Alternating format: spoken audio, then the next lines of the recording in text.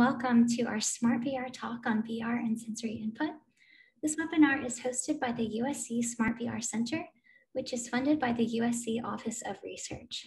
To learn more about our center and events, see our website at smartvr.usc.edu or follow us on Twitter at USC underscore smartvr. Today, we will be featuring Aaron Wisniewski, co-founder and CEO of OVR Technology, and Joe Michaels, Chief Revenue Officer at HaptX. Co-hosting this event will be Dr. Skip Rizzo, SmartVR Co-Director and USC ICT Director of Medical VR. And with that, we can start with Aaron from OVR Technology. Um, I'm on mute. Now I'm not on mute. Great. Um, Julie, thank you very much. It's a pleasure to be here um, with you and Joe and Skip and everyone else. Um, so I will uh, share my screen and talk a little bit about who I am and what I do.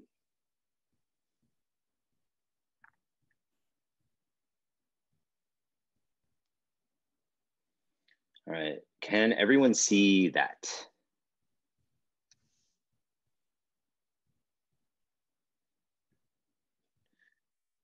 Julie, uh, Joe, yes. Skip, does that look good? All right. Yes, looks great. Yep. Excellent. Great. So um, in the pretty near future, XR is going to be everywhere. Um, we're going to do everything in virtual and augmented world. Um, and I think what surprises a lot of people is that scent, um, our oldest and most primal sense, will play a critical role in the success uh, of that virtual future. Um, sensibility to make our virtual experiences more emotional, more engaging, more valuable, and more effective is often overlooked um, but should never be underestimated. Um, we only need to look at the recent impact of COVID to see what happens when we lose our sense of smell, um, even temporarily.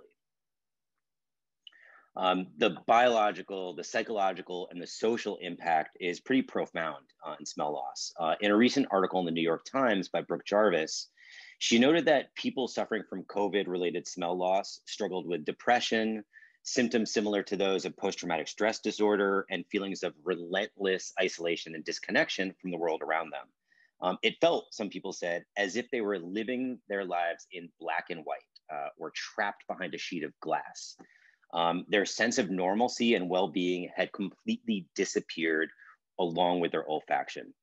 So I'm dedicated to harnessing the power of smell to ensure that our virtual experiences never suffer the same fate. Um, so uh, I'm going to take a moment to talk about why our sense of smell is so powerful from a physiological standpoint. Um, it is unique from all of our other senses. Uh, it is the only one with a direct connection to the limbic system in our brains. Um, the limbic system is where our memories and emotions live. Um, and it's also what drives many of our motivations and behaviors. Um, so just think about all the times you've been walking down the street and caught a whiff of perfume or cookies or fresh cut grass and then been instantly transported back in time to a moment in your past. Um, now, our sense of smell, because it operates under the radar of our conscious thought, um, it can be undervalued or misunderstood, but that doesn't make it any less powerful. Um, so at OVR, we conceptualize, build, and deploy olfactory technology um, that brings that incredible complex world of scent into all VR experiences, making them more engaging, more emotional, more meaningful, and, and effective. Um, so we call this technique the architecture of scent. Um, and it's the first multi-sensory VR platform that intelligently understands user behavior in the virtual world and translates it into real-time olfactory stimulation. Um, so by leveraging our patented microtechnology, um, our software framework, and our proprietary Scentware library, um, you can now make the virtual world feel more real uh, than ever before. Um, so here's how it works. uh, in the real world, um, smells are like this soup swirling chaotically around us in the air. Uh, and every time we breathe in, we get loads of information about our environment.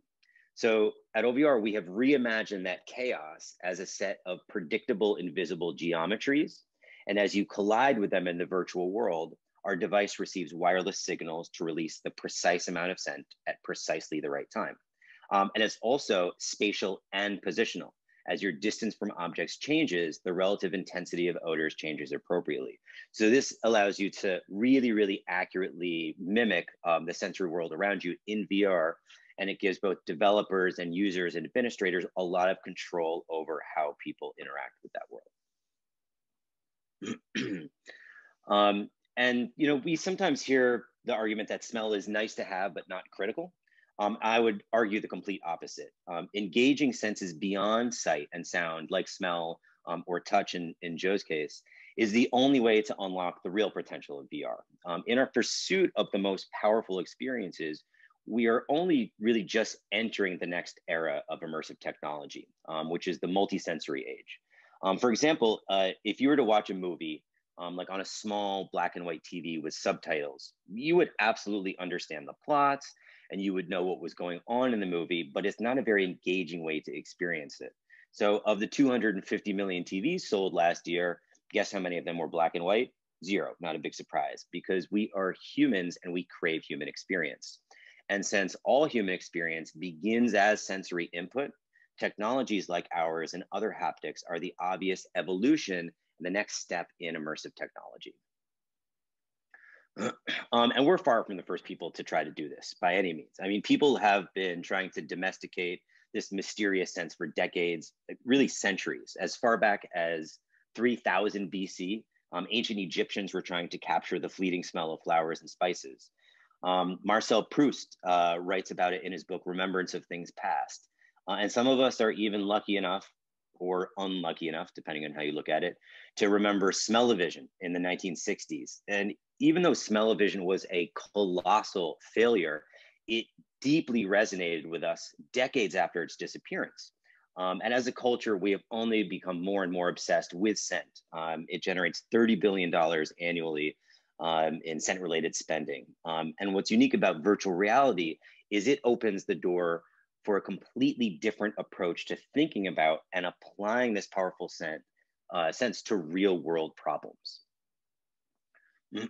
So at OVR, we focus on the use cases that both align with our company values uh, and also where we think we can have the most positive measurable impact. Um, so we align with customers um, and partners that fall into three main categories, um, health, knowledge, and human connection.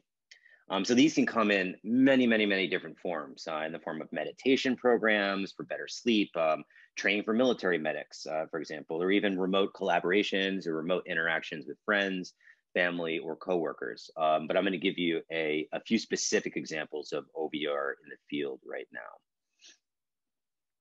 now. So um, one application within health and wellness that we feel really strongly about um, is stress. Um, stress has been described as a root cause of up to 90% of disease and illness. And the pandemic, not surprisingly, has only made um, our collective stress level even worse. Uh, so we wondered, how can we help? Um, well, we know that meditation works really well. Um, we know mindfulness practice works really well. We know breathing works really well. And we know spending time in nature works really well. So, what if we were able to, um, in VR, combine all of these things into a single package that anyone can use anywhere and would truly enjoy that experience while also receiving genuine measurable benefits? So, the result of that is a platform that we call Inhale. In Inhale, um, in this virtual world, a user can pick from a number of different photorealistic nature environments like a beach, uh, a waterfall, uh, a mountaintop. And within these environments, they are carefully led through a soothing, guided mindfulness meditation. Um, but this is a unique kind of meditation because, unlike traditional meditation, um, you spend the entire time linking your breath with scent. Um, and that's a new thing. So the environments, uh, of course, smell like fresh outdoors, but the breath is focused on what we call totems. So handheld objects like citrus, uh, or flowers that are either relaxing or energizing. Um, and you use these totems to breathe in and breathe out with the meditation guide. Um, it creates a deep, effortlessly focused state of relaxation very quickly, um, and it can associate a positive mood state with a rewarding smell. So, among a number of different applications for Inhale, it's currently being used um, to ease discomfort in medically assisted rehab and detox clinics, uh, as well as a tool for stress reduction prior to group or talk therapy, um, and a number of other use cases that um, uh, I can get into in the question and answer session later. Um, last year, an early prototype of the Inhale platform uh, was used in a pilot study at the University of Vermont Medical Center to explore the effects of stress relief for short-term inpatients at the Department of Clinical Psychiatry. Um, the, the, study was about 50 subjects, and nearly all 50 participants um, benefited to some degree um, from the experience. And the average reported reduction uh, of feelings of stress was over 60%. That's the average. And what's even more exciting is that the reduction of stress largely remained even hours after the OVR session was finished. Um, so it's not just during the experience that you receive the benefits. So you know, this research is still early, um, and in no way does this indicate uh, a treatment or a cure of any kind. Um, but it shows a great deal of promise um, for multisensory VR, and it definitely uh, warrants further investigation and, and further use. Um, we also are currently working with Dr. Skip Rizzo, whom many of you may know, uh, on integrating OVR technology into the BraveMind program uh, which is a VR suite for clinicians to use during PTE, uh, PET for war veterans who are suffering from post-traumatic stress. Um, because of the very strong relationship between scent and memory, um, smells can be a powerful tool to trigger buried trauma and help people revisit and reprocess difficult memories in a safe, controlled environment. Um, the link between scent and memory, interestingly enough, is not proportional though. Um, the more intense the initial experience, the more powerful and permanent the scent memory association is, and therefore the more powerful the trigger.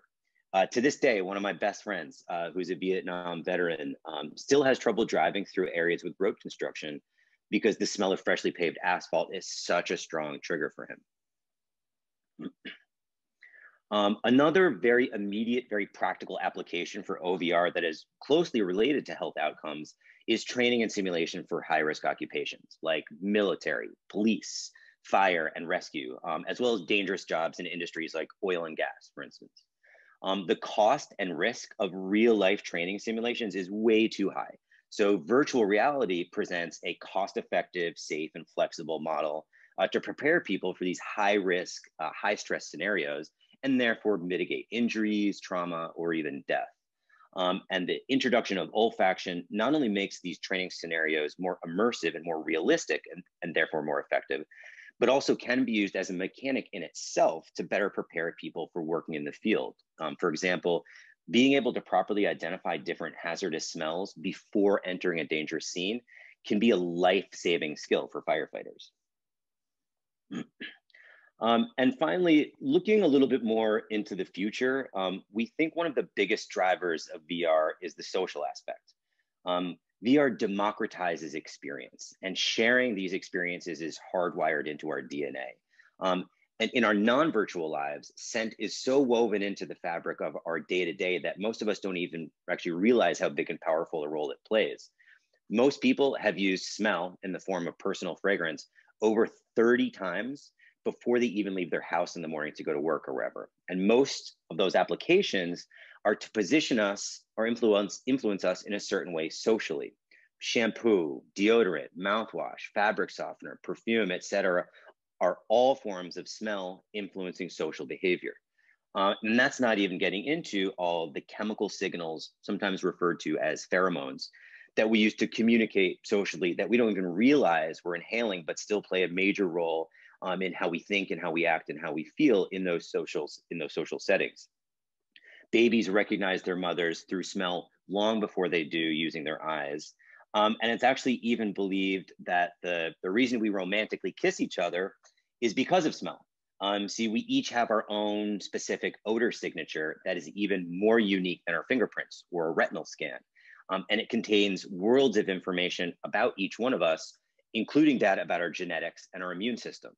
Um, so it's thought that kissing is actually a way for two people to sample each other's genetics and conclude whether it's a good evolutionary match or not.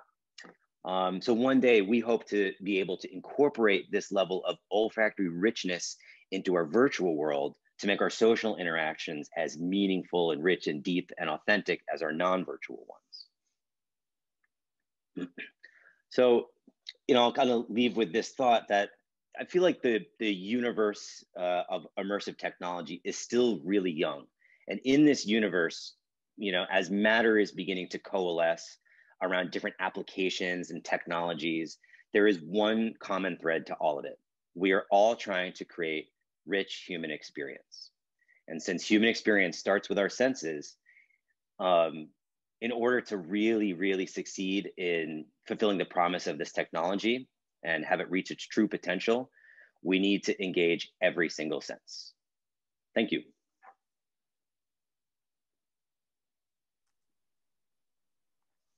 Okay, well, that was uh, that was an illuminating presentation, Aaron. Uh, thank you for that. Um, I've got a few questions, but I'm going to hold off until uh, Joe presents on the haptics, and then we'll we'll dive in with a conversation ourselves and uh, and then open it up to some brave souls in the audience that want to ask some questions. Thanks, Skip. Cool. Catch you on the other side. Wow, that was fascinating. Uh, thank you for that, Aaron. I'm trying to imagine what your office smells like. I just have this vision that you can kind of walk in and you you're walking through waves and waves of different smells. Um, and so uh, this, I'm really uh, excited to, uh, to talk to you all today. Let me go ahead and share my screen. Um, so you should be able to see uh, the slide presentation, Skip. Yes, thank you for nodding. Good, okay, cool. So um, my name is Joe Michaels, as you've heard, and um, I am the Chief Revenue Officer at HaptX Corporation. And uh, I put my um, Twitter handle at the bottom and the company HaptX's Twitter handle in case you want to follow us.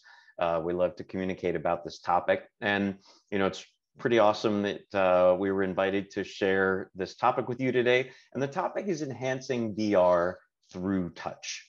Um, that's uh, that's uh, that's that's a very cool uh, topic, and, and I think you're going to see a lot of similarity uh, between what you just heard from Aaron and what we have to say, because um, this idea of enhancing a spatial environment and the way that you experience it um, by bringing your senses into it, um, there are a lot of lot of thematic similarities as you, you think about senses like touch and and smell.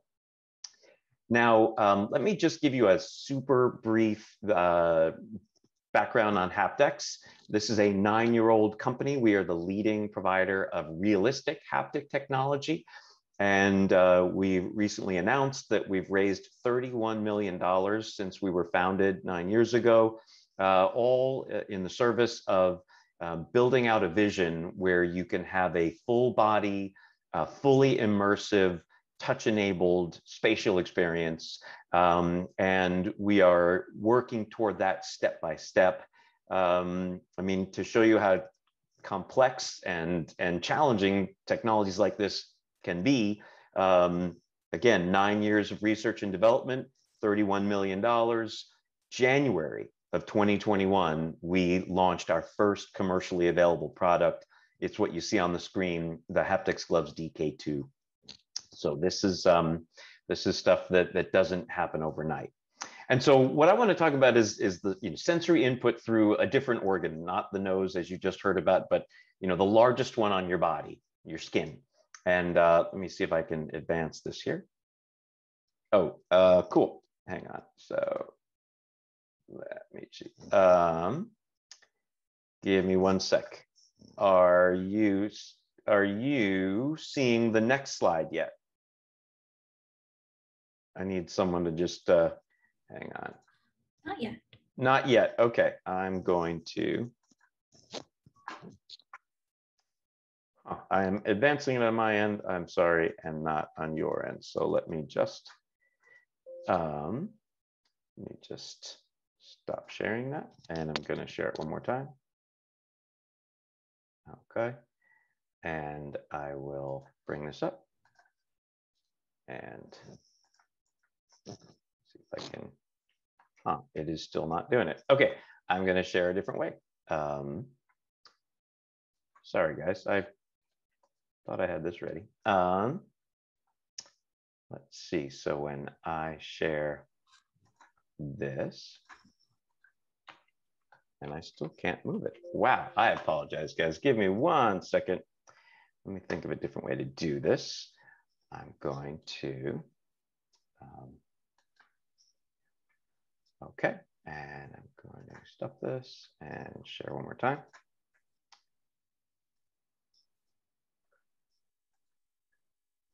Um, are you seeing, wow, next and it still won't. Oh boy, I. What about, are you running in slideshow mode? I, Um, yes, I am. uh, Try on, on slideshow moding it and see if you can manually move them. It might, won't be as impressive.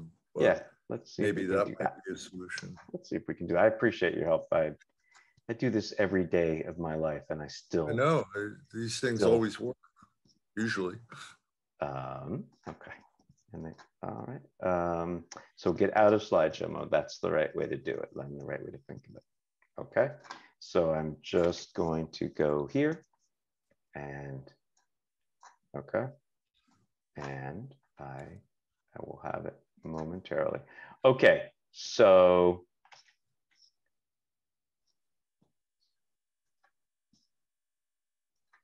you should see Yeah, and we can see everything. We can see your little postage stamps on the left. I'm going to move that out of the way.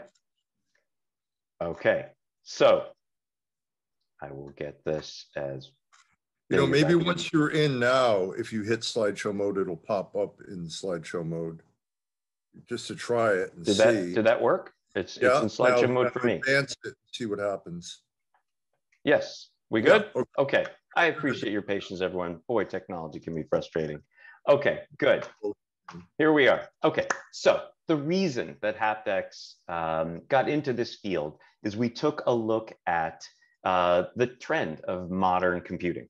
Uh, when you go back to you know PCs in the 1980s through the internet and social media and mobile, we, we saw two trends. Uh, one is increasing connectedness. Uh, people are getting uh, you know connected around the world with each wave uh, advancing, and the, the other is increasing immersion. Each new form of computing is finding new and, and more exciting ways to bring the world together and get them more immersed in the content that they're seeing. And uh, as you look at, where we are today, there's a new wave of which is feels like the logical extension of those two trends, and that's immersive computing, spatial computing, and um, it's not a surprise that all of the major technology companies are contributing in their own way to what uh, Facebook is now calling the metaverse uh, or, or this, this spatial computing wave. And most of the energy on the hardware side is going into spatial audio and uh, 3D video. Not surprising, those are two primary senses. But the thing that really got exciting for us is what about what we look at as the third leg of the stool? And you know, maybe Aaron would argue that the nose is the third leg, but we think of touch uh, as the third major sense to bring into immersion in spatial computing. And no one really has has uh, uh, nailed that one. And, and we wanted to and still want to because uh, for us, touch is absolutely fundamental to the human experience. Uh, we think of this uh, as, as fundamental because from the moment that a human is born, he or she uses it to understand what's real. And one of the fascinating things about touch is it's made up of a bunch of different modalities. It's not just one uh, thing. It is tactile feedback and force feedback and vibration and thermal feedback, and they all combine together to uh, give us what we what we understand to be touch. What I want to talk about briefly first is vibration, because this is what most people think of when they think of touch. And that's number one, because it, it is an important element of it. Um, and number two, it's because it's what every, what, what most devices today uh, you know, use to convey touch feedback. So mobile devices, you tap your phone and you've hit the right spot and it, it buzzes a little bit to give you a, a sense that you, you've, you've contacted it or um, you, you're you're getting a symbolic sense of contact uh, through a game controller. Uh, you fire a weapon, or you crash your car, or you know something happens, and there's some rumble to convey symbolically that that you you know you you touch something.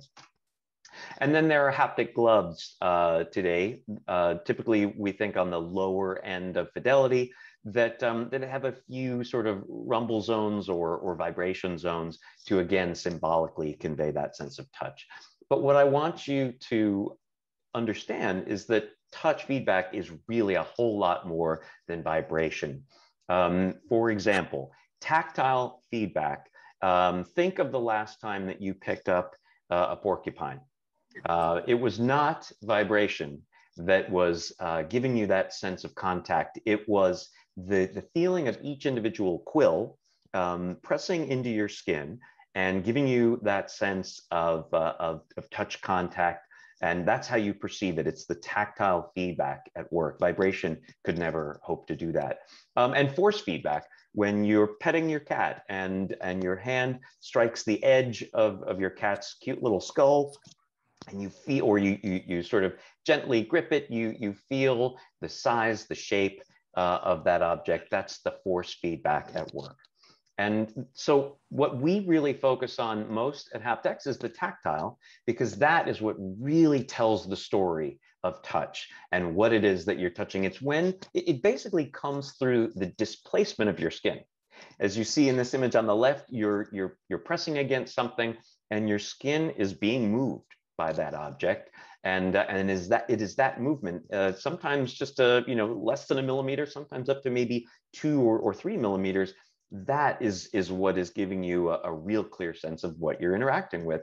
And the science behind it is these mechanoreceptors that you see on the right um, under the surface of the skin. There are four different types. Um, the Pacinian corpuscle at the very bottom, uh, it's sort of farthest away from the surface of the skin. That's um, that's going to perceive the, the kind of vibration level of feedback. But but it's it's three the three others that you see listed here that are um, that make up about 90% of, of these nerves that are really uh, picking up all the tactile feedback. And that's why tactile feedback is so important. So what HaptX does to address this is create a, a microfluidic approach to delivering tactile uh, and, and other types of feedback. So we invented this silicone material. It's a thin piece of, uh, of silicone. It's a, this is a close-up view.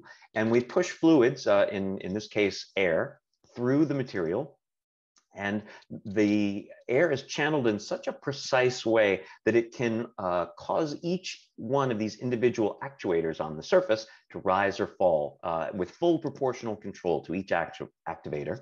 And so when you are touching this, your, when your real skin is up against this material, um, we can displace that skin, your skin, uh, and simulate with a lot of precision and realism and authenticity uh, the feeling that you get when you touch a, a real object.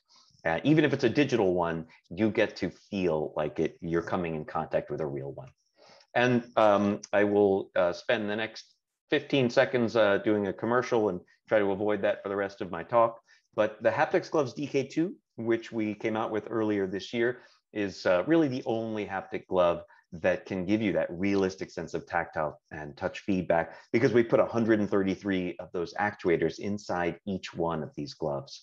And we array them in such a, a way that all the places where your hand is typically contacting an object can that can feel that that sense of, of skin displacement and, and touch. We have 133 of those actuators inside each glove. Uh, we also have the strongest force feedback in the industry and the most accurate motion tracking. Uh, our fingers are, are tracked uh, with six degrees of freedom uh, and uh, and uh, with sub-millimeter precision. So we're very excited about this, this tool that you can use to convey touch uh, in VR. And so what's really exciting, what I want to talk about today is how you use touch, how you use HaptX gloves or, or other types of, of touch feedback to, to enhance your, your experience in VR. And I think the, the biggest opportunity is broadly speaking, training and simulation. And um, what we're excited about is helping users build real muscle memory in VR. So you're in virtual reality, you can naturally use your hands, you can drop the controller, uh, not learn how to work the world through triggers and buttons, but use your fingers and your hands the way you want to and, and do in the real world. And uh, you can do that over and over again in training. So, uh, and do it with enough accuracy that you can build real muscle memory. You're not just learning about the skill, you're learning how to do it. So here's an example, uh, surgical training. This is a UK company, Fundamental VR, and we brought our glove into it so you can feel the skin tissue and the bone cavity of the area that you're operating on in this uh, surgical example, and you can interact with virtual tools, uh, forgive the bone and gore here, but um, the idea is to really be able to judge um, the success of uh, a surgical procedure thanks to haptics um, involved in it. And there's a lot more beyond, you know, that kind of fine uh, motor skill. Uh, there, there's so many industrial and enterprise and government applications that require you to interact with controls, switches, buttons, dials, tools, um, and just the world around you. And if you do it with enough uh, accuracy, then uh, people avoid negative training. They learn how to use their hands correctly and they build fine motor skills, they build gross motor skills, and, uh, and the training can be a lot cheaper, safer, and more effective. So that's, that's really exciting. But I want to talk for a moment about um, a, flavor of, of training, which is kind of rehabilitation and recovery. And you know what what we learned is uh, people who experience strokes, for example, often um, lose uh, their ability to, to sense and so uh, through their hands. And so they need to recover. And we're excited about uh, testing the use of haptic gloves in that recovery. Um, so they can regain uh, slowly and correctly their tactile sensation and uh, engage in that kind of fine neuro rehabilitation. Uh, this, this is a, a, wide open field and uh, something we're excited to work with USC on and, and, and others. And it's not just the fine motor skills.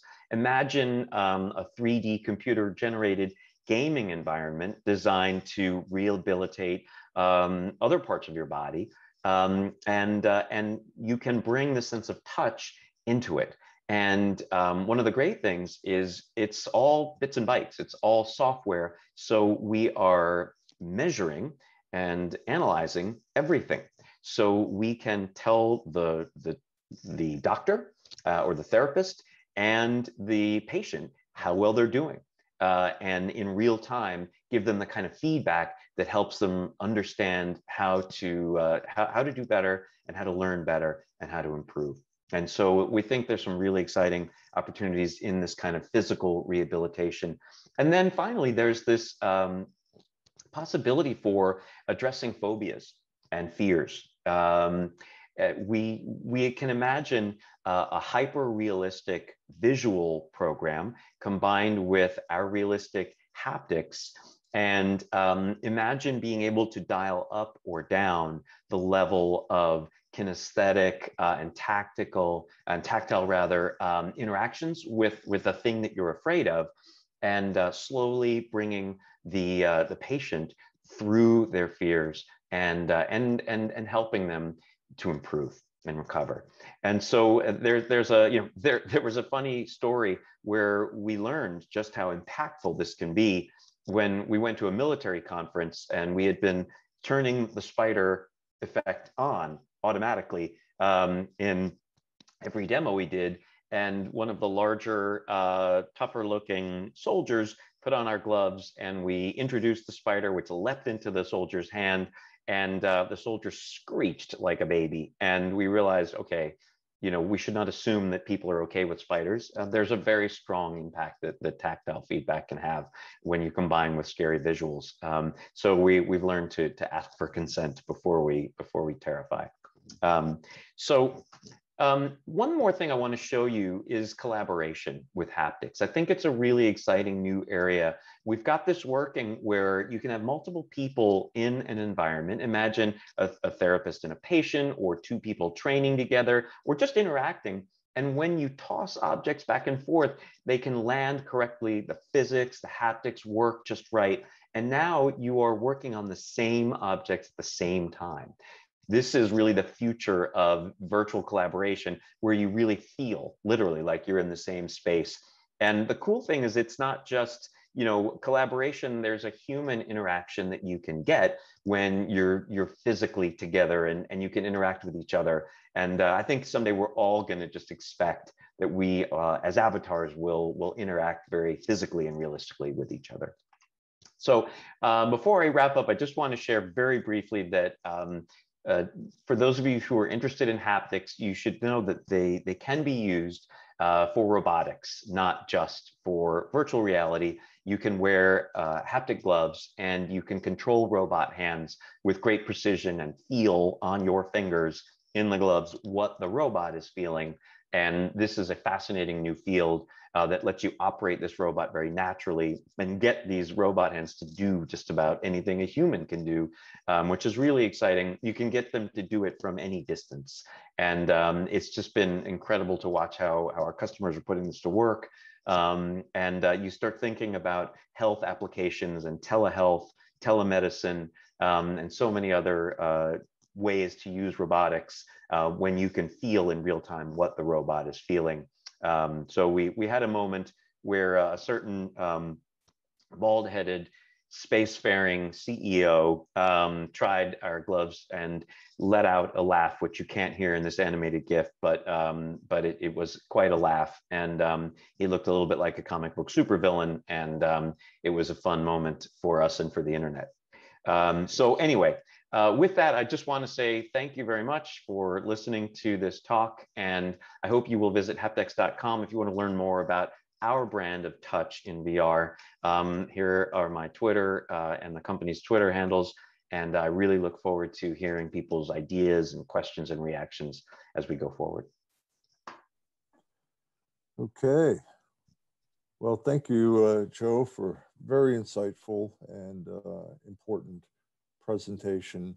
Um, I don't want to gobble up all the time, but I want to just make some, some quick comments on both of the, the topics and then uh, ask just a couple of questions and open it up to the audience.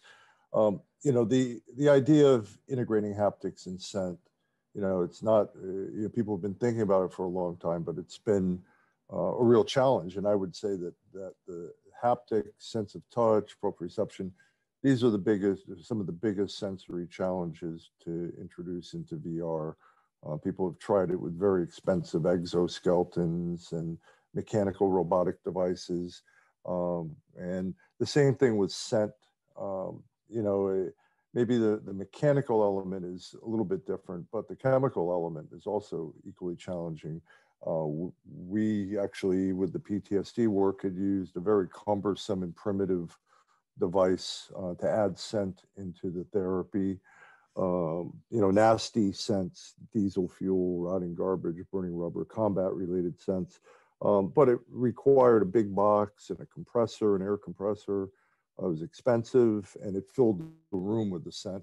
And the scent stuck to people, so they walk out of the therapy session smelling like, you know, a Humvee wreck, wreckage. um, and so these are real challenges.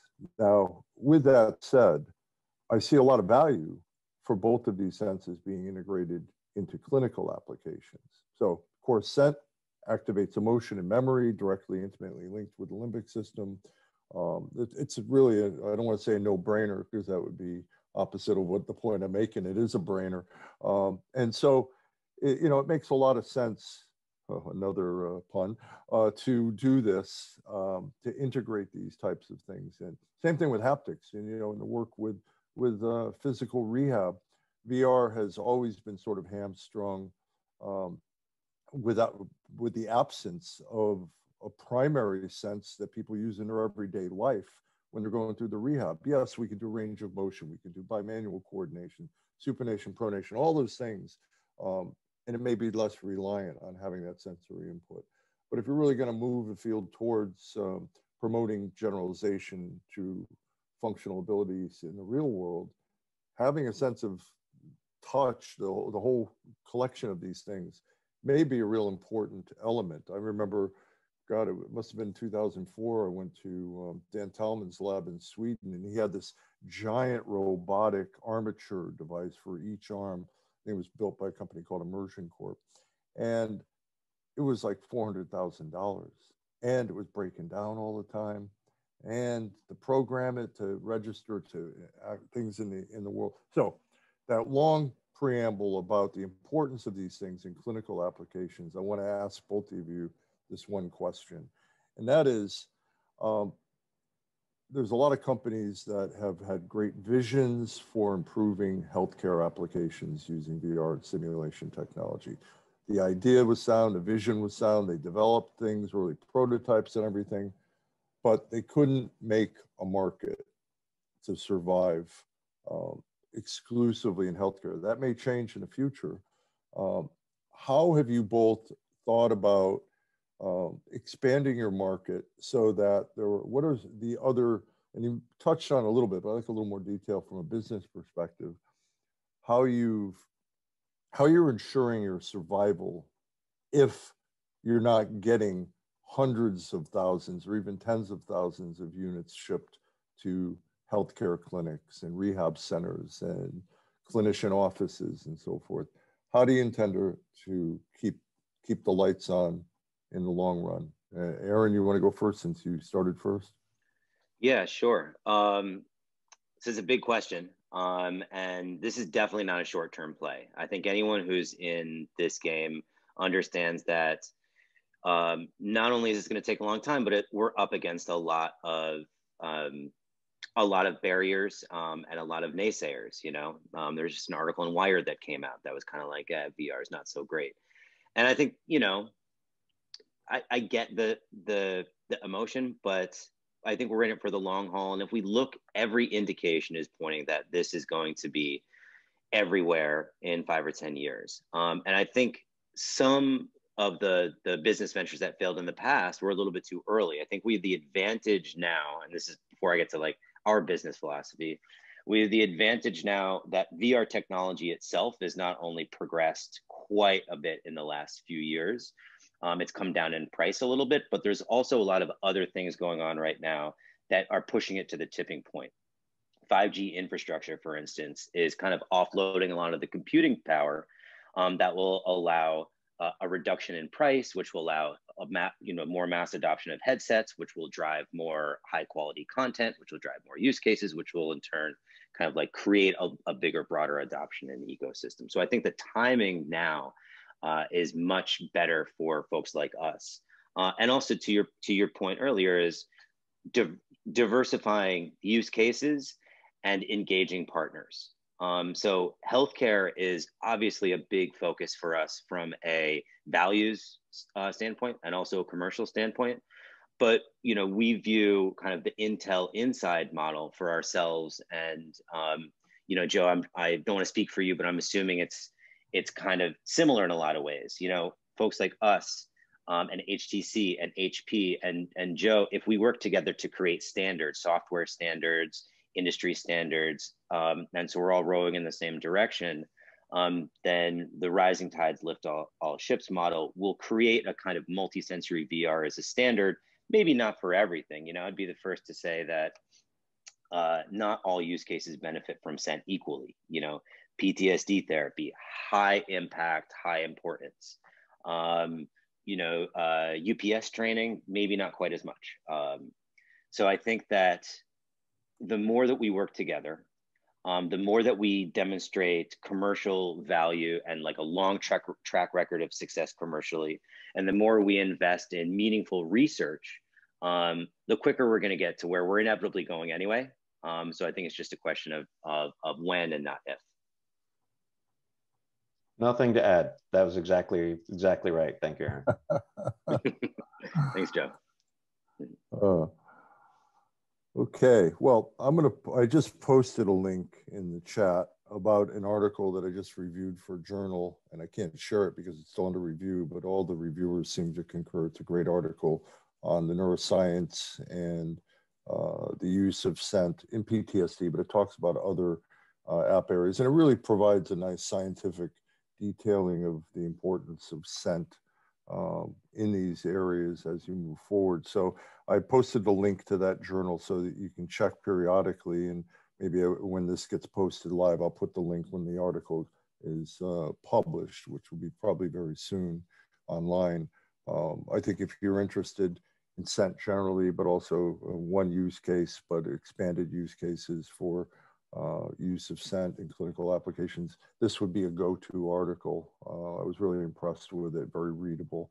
Um, the next thing I'm going to post in the chat, and it's going to lead into a question uh, for Joe, and that is this was an image I found a while back. I don't know if it's yeah, it's it's uploaded, but you can't. I think you have to download it yourself to see it. It's a full body suit haptic um, device. It says HaptX uh, Axon VR. Um, and Axon VR is a company that focuses on training police officers. So I was wondering if this was actually your application, uh, a full body suit with these actuators. Yeah, there we go. Um, and you know, it's a visionary concept. How far are we away from this? Is it feasible? Is it going to be $10 million or uh, it's, it's, it's not going to be a couple hundreds, certainly. Uh, but anyway, well, tell, tell us a little bit about that. Yeah, um, this is absolutely the vision that inspired our founders, uh, Jake Rubin and Dr. Bob Crockett, to, to start our company. And it's, uh, it's exciting because of what you can do with it. Once you um, have uh, an exoskeleton that provides force feedback on your full body, and you have a, a haptic suit delivering, you know, tactile uh, feedback to, to all of your skin, and you have haptics gloves, um, and you combine that, you know, with um, with with 3D visuals, you can effectively simulate any activity or behavior. Um, you can uh, do something productive or completely unproductive, and it feels realistic. And we're, you know, we started out imagining games incorporating this and we've since given that up and realized that enterprise use cases are the ones that will pay the bills in the short term. Someday we'll, we'll return to games. But the, the answer is it, is it isn't cheap. Um, but the way that we're going about it is by saying, let's try to come up with the most realistic, the most immersive, the most effective technology, even if it's too expensive for consumers to start. And over time, we'll figure out how to get the cost down, get a form factor that, that can be more widely um, uh, available. And um, we, the, when you think about how long this takes, um, you know, it's not a 20 year problem to, to go solve. It is going to happen a lot sooner than you think. The National Science Foundation funded us and some universities to start working on the lower body uh, side of this. Um, we're doing incredible work in our labs um, to, to, to, to work on other parts of the body. We'll have announcements we can make in the future um, you really need to add more feedback beyond the hands to really immerse someone in a virtual environment and um, to, to make something feel heavy, to let them rest their arms on something, um, and so much more. And we can't wait to, to get to this vision. We started with the hard part, the hands, and, and we're, we're making incredible strides. Uh, I'm going to ask a question I know everybody else is thinking, but is too um, chicken to ask uh, but you don't have to answer it. Have you gotten any queries or investment from the porn industry? Funny how neither one of us is leaping to answer that question. I don't know. Yeah, who goes first on that one? Uh, the, the, answer is we have gotten inquiries. Yeah. Okay. And right. and not uh, we have nothing to announce at this time. Um, likewise. you know, you you got you got to give the the industry credit for driving the internet, for driving VHS way back in the day. Um, it just doesn't happen to be in our uh, on our roadmap. Yes, yes. Okay. Um, some someday offline we'll we'll we'll share stories. In this forum, Over nothing to say, nothing to share. okay, so with that, um, we've got about fifteen, a little bit less uh, for audience questions. So who's going to be the first brave soul to jump in and ask our presenters a question? Cameron Williams raised a hand. Hi, can you guys hear me? Yes. Yep. Awesome. This is for uh, Aaron from OVR Technology. I was actually talking to Wes Davis a couple of um, months ago about your uh, technology because I I've interacted with a couple of um, health and wellness companies because I do audio production and they've gotten into extended reality as well as um, virtual reality for their products.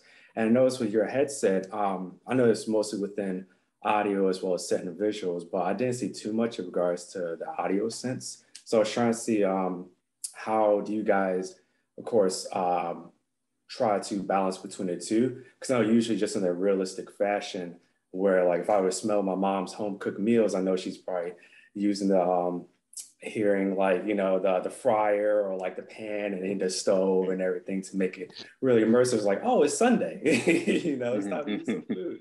I mean, also in regards to audio, it's um, when it comes to humans like language and speech and everything are different like telephonic or uh, geophonic and biological phonic sounds. Um, it's just sounds, but also have meaning, and humans over time allowed to have meanings and everything. So, long story short, I was just trying to see um, how do you guys really go about it uh, with the audio as well as the smell and everything. And if you guys um, do, um, was there anybody you partner with or work with, staff, etc., or yeah, there's a there's a few questions in there, and they're all excellent questions. So first, I would say that when we were designing our software interface, you know, how do we add scent to these uh, environments uh, and make it realistic? Um, we we borrowed a lot of concepts from audio engineering and from sound. You know, like spatial audio turned into spatial scent, um, positional, a lot of the same things, intensity, action curve. So we borrowed a lot of those concepts and applied them to the olfactory world. So when you think about like, oh, if I'm a developer and I'm adding olfaction, you're going to go about it in a very similar way. It's as if you're working with a sound engineer and musician. So I think that's, you know, like you touched on something like really on point there.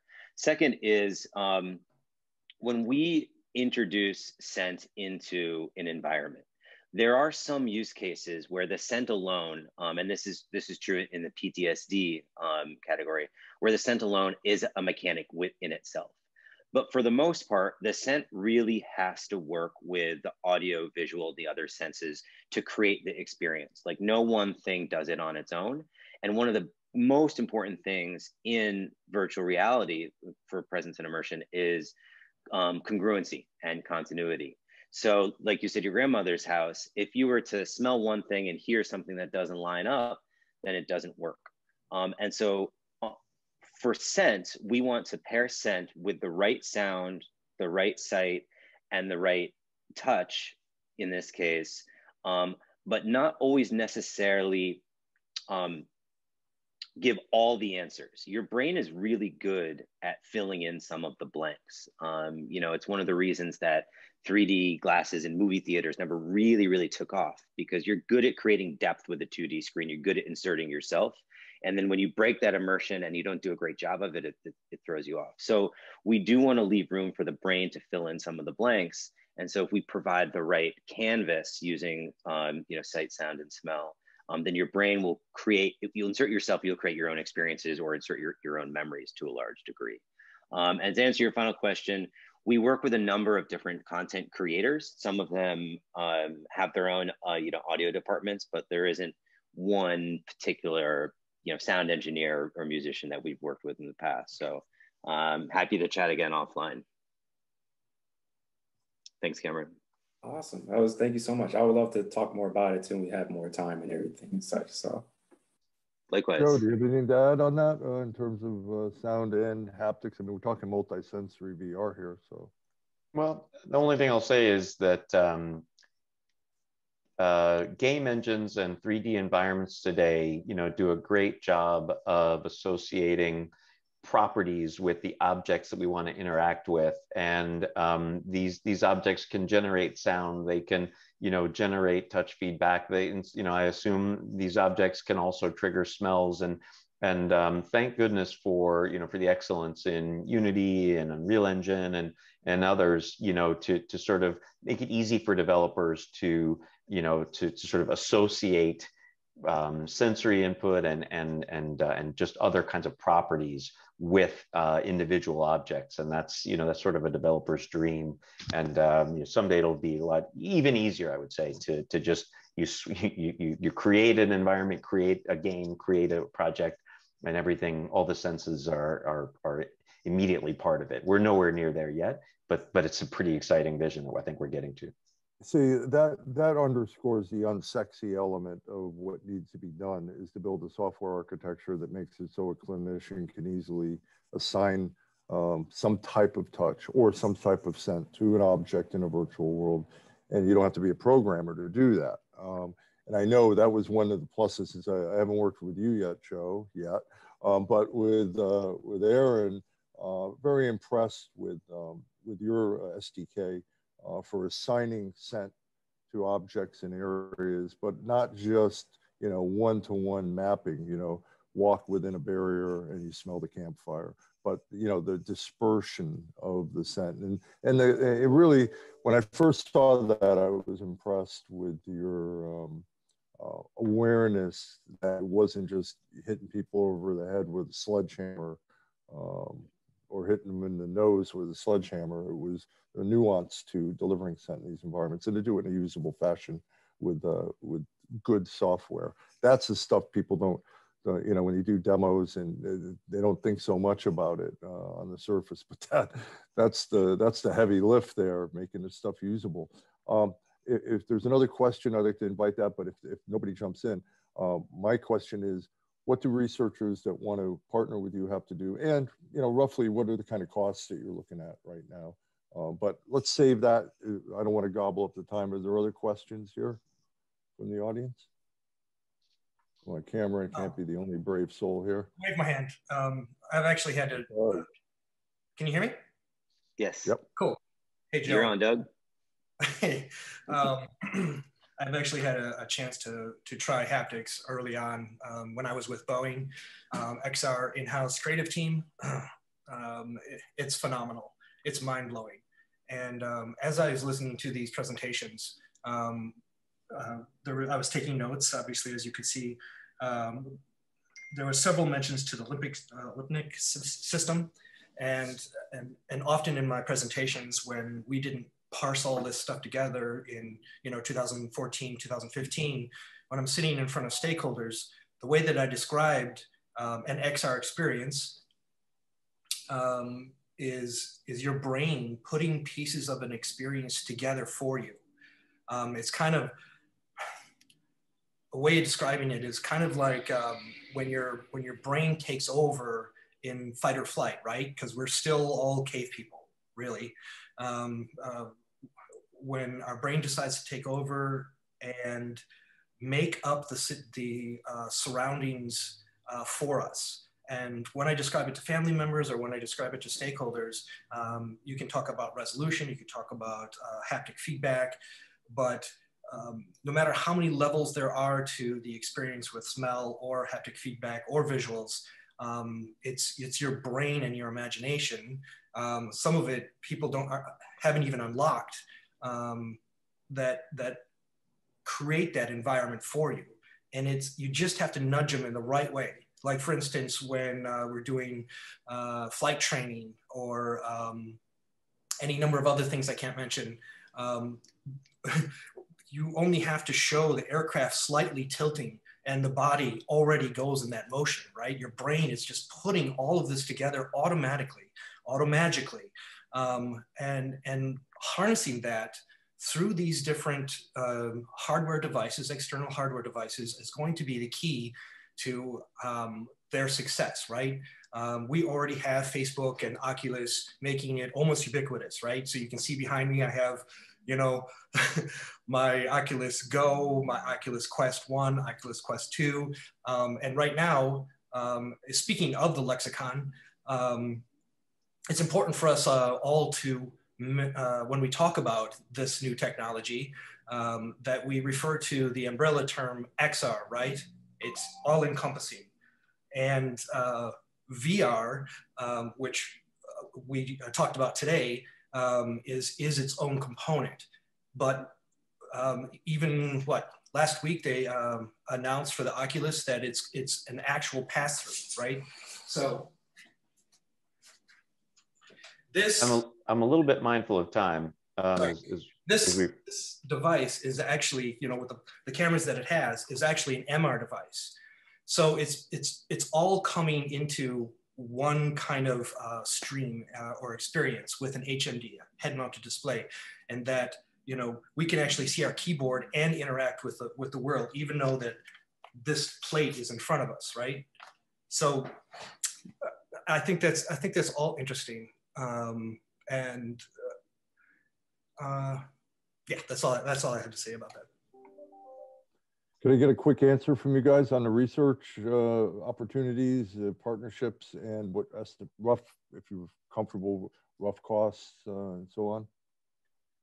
Sorry, Skip, can you say the question one more time? Well, uh, I'll, let, let, me jump in and answer it, and I think you'll pick it up. The, the question yeah. that I heard was, um, what would it take to, for a, a, university or, or some an organization to, to collaborate uh, on a research level? What would the costs be, and, and then other considerations? And you know, for HaptX, we're um, we're finally to the point where we have the the flexibility with hardware and with people and resources to collaborate with a select number of researchers and and universities and just institutions. So we're we're starting to put together um, a few projects that that will you know do interesting ask interesting questions and come up with fascinating results about you know how touch impacts a particular type of you know of, of vr interaction. So we're, we we are we're we're finally able after after years of wanting to to, to have those discussions and keep costs manageable. So get in touch with us please if that's of interest to you uh, I have a pretty similar answer. You know, in addition to the the medical study um, that was done recently, we're involved in a a, few other uh, research projects, uh, mostly in the kind of health and wellness bucket. But you know, it's really important that good research gets done around all VR technologies and applications. Um, and we're really interested in supporting as much good research as we are able to. Um, and so, you know, we have kind of like a baseline research uh, developer kit uh, situation. Um, so I encourage anyone who is interested in doing research to also get in touch with us, and I can describe that in a little bit more detail and how we support research um, and what the possibilities are. And your email's in the chat so people can read. Yeah, I dropped my email in the chat, um, and uh, you can always find us at ovrtechnology.com. Great. Okay, well, um, you know, uh, this has been fascinating. Uh, you know, I learned a lot today, and uh, um, I want to thank you guys not only for taking the time to do this today, but for having a, a uh, courage to take on a hard problem and to um, try to expand the boundaries of what we can do in this great field and make a difference for people. So, uh, thank you for that, and uh, round of applause for our speakers. And Julie, I'll leave it to you. yeah, thank you all so much for coming today. And thank you, Joe and Aaron, for your wonderful presentations. I put a couple links in the chat. So we will have a recording available of this talk at our official YouTube channel. And you can also stay up to date with future events at our main website, um, which is also in the chat. All righty. Thanks, Julie. Thanks, Skip. Thanks, Joe. Thank Thanks, you, everyone. Well, Great seeing you. Friday and weekend, everyone. Bye-bye.